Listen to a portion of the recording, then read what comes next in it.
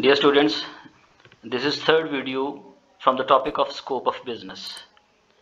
This video is about second component of uh, commerce after the trade which is aids to trade or auxiliaries of trade. The objectives of commerce are to provide series of services or activities which can facilitate the exchange of goods until they are reached in the hands of ultimate consumer. In my previous video, I have explained that the main purpose of commerce is to break the barriers between producer and consumer. So aids to trade is a framework of attaining certain objectives. The objective to carry the goods from place of creation to the ultimate users. So these are aids of trade or you can say auxiliaries of trade. From such uh, aids, the first one is banking. The producers and distributors need money to meet their daily business needs. So the banks help the producers and middlemen by lending money for a shorter period, for a longer period, or a for or you can say interim period. The banks provide money for a short period of time in order to meet the working capital requirements of a businessman. Now you can say banks give financial assistance to the businessmen during the leisure period as well as. The next aid to trade is transport. A transport is a system for movement of goods or persons from one place to another place. The transport plays a very very pivotal or you can say important role in the development of commerce and industry. Transport widens the market and helps to equalize and stabilize the prices at different places. So you can say transport makes things possible to the people very close to their destinations. The next auxiliary or aid to trade is communication. Communication means a system which provide commercial information to the individuals, firms and companies. Radio, television, internet, fax, are prominent sources of communication. Through communication, the businessman can communicate with other businessmen and businessmen can communicate with ultimate users.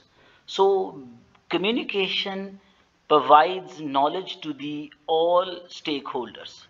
In modern times, success of a business depends on the latest, concise and accurate information.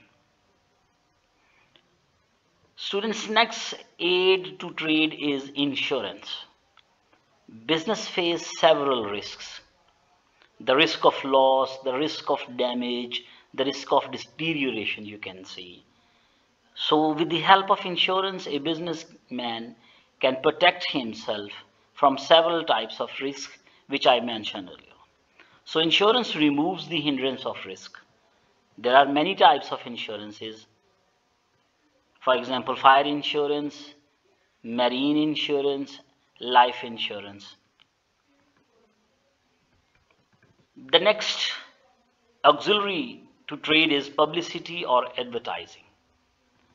This publicity or you can say advertising removes the hindrance of knowledge, means provide latest and equitable knowledge to the middlemen to the producers as well as to the consumer regarding various goods which are available in the market.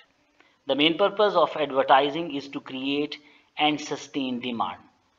So in the absence of advertising, the consumer may remain ignorant of the availability of goods and services and businessmen may not be able to sell their products easily and comfortably. Multiple forms of advertising are available in present era like outdoor displays, radio, television and press.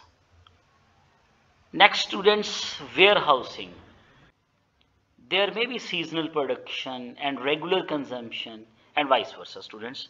So there is a need to keep goods till the demand arises. Thus warehousing means activities related with safekeeping of goods until needed. Next A to trade that is middlemen. Middlemen perform the role of bridge between producer and consumers. They come closer, buyer and seller for a transaction and play a very very significant role in the negotiation leading to purchase and sale. So you can say in easy words, middlemen are just bringing closer buyers and sellers to make the, such transactions happening and making such transactions possible for them. They receive their reward in the form of commission. Next is packing. The packing means putting goods in wrappers, containers. Packing helps to protect the goods from damage during transport and warehousing. So it makes good attractive also. Packing helps in the conveyance and handling of goods. Dear students, this is all about the topic of aids to trade. The related videos regarding scope of business or components of business are already available to you.